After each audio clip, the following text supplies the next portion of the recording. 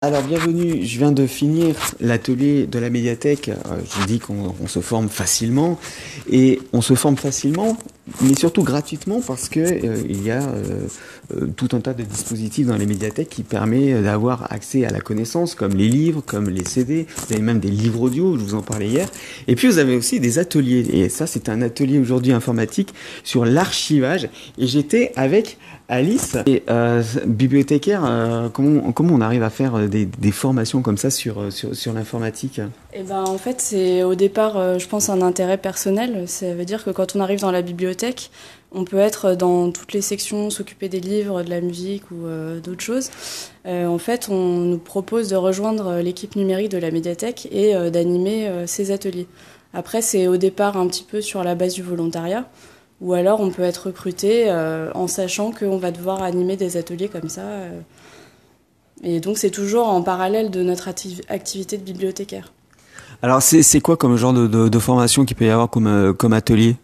Bah ici, euh, on propose surtout des ateliers vraiment pour les grands débutants parce que le public de la médiathèque c'est surtout des personnes âgées, mais ça peut aussi intéresser euh, parfois d'autres publics mais on propose des ateliers euh, pour découvrir comment marche l'ordinateur, voilà, vraiment les bases pour savoir ce que c'est, voilà, ranger ses dossiers comme on a fait aujourd'hui.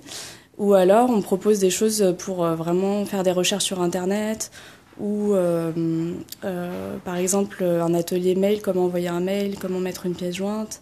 Euh, on fait aussi des ateliers sur iPad, on fait des ateliers pour découvrir les réseaux sociaux. C'est ouais. surtout, voilà, ça reste dans de la découverte. Comme on n'est pas informaticien, on ne fait pas non plus des choses de niveau trop élevé. Et donc, euh, le, le, public concerné, ça peut être euh, n'importe qui. Aujourd'hui, il y avait des, des, des, des personnes d'un certain âge. Oui. Moi, j'ai quand même été bluffé qu'il y ait des personnes de. Vous attendiez un public comme ça? Oui, moi je m'y attendais parce qu'en fait depuis que j'ai commencé les ateliers ici, je sais que c'est euh, notre public euh, dans cette médiathèque. Ça correspond aussi au public euh, global de la médiathèque en général. On est dans le 15e arrondissement, donc on a beaucoup de personnes assez âgées qui viennent ici. Et c'est vrai qu'on se rend compte que ça les intéresse beaucoup de découvrir les nouvelles technologies, de comprendre comment marche Internet. Il y en a beaucoup qui utilisent notamment les tablettes, beaucoup. Et euh, par contre, après, voilà, il peut y avoir de temps en temps des personnes, euh, voilà, plus jeunes ou euh, des gens qui qui n'ont jamais eu accès trop à un ordinateur ou à Internet et qui veulent découvrir. Il n'y a pas seulement des personnes âgées. Alors moi je suis venu un petit peu euh, comme ça pour voir comment comment ça se passait. Je trouve que c'est super pédagogique. C'est comment non mais vraiment c'est c'est vraiment super clair. Comment est-ce qu'on prépare un atelier? Alors nous, euh, depuis le temps que les ateliers existent à la médiathèque, il y a eu plusieurs personnes qui sont succédées dans l'équipe.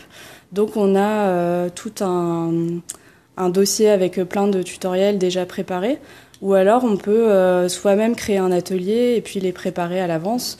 Euh, pour ça, on se base bah, sur nos connaissances personnelles. moi, j'essaye de voir comment j'aimerais qu'on m'explique les choses de moi. Et, euh, puis on crée après des PowerPoint, des choses comme ça, euh, en se documentant un peu sur Internet aussi, ou avec les livres qu'on a à la bibliothèque, on a des livres sur l'informatique. Donc ça peut aider aussi. Alors quel est le service qu'on qu connaît pas euh, qu'il qui, qui y a dans, dans, dans, la médiathèque? Là je vois au loin par exemple, là il y a quelqu'un qui est en train de jouer au piano. Oui. euh, C'est-à-dire qu'on peut, il y a un, bon là on est à la bibliothèque euh, Marguerite Yourcenar à Paris. Je sais pas si c'est comme ça dans toutes les médiathèques, peut-être pas, mais euh, vous en tout cas vous avez des pianos. Euh, il suffit d'avoir une carte et puis on, on, peut jouer tranquillement. Oui, on peut jouer comme gratuitement. Donc ça, c'est voilà exactement comme à la gare, sauf qu'il y a un casque, personne ne vous entend. Et euh, c'est vrai que c'est un nouveau service qu'on a mis en place depuis cet été. Et on prête aussi des instruments depuis cet été, ce qui est pas forcément. Bon, les prêts d'instruments, il y a les gens commencent à être au courant, donc ça marche super bien. On prête des guitares électriques, des basses, des ah ouais. ukulélés, voilà. Pour trois semaines, c'est gratuit. Il faut juste être inscrit à la médiathèque. Ah, ça, et les pianos, euh, les pianos, bah, il faut venir euh, juste avec sa carte de médiathèque et on peut jouer. Euh, voilà.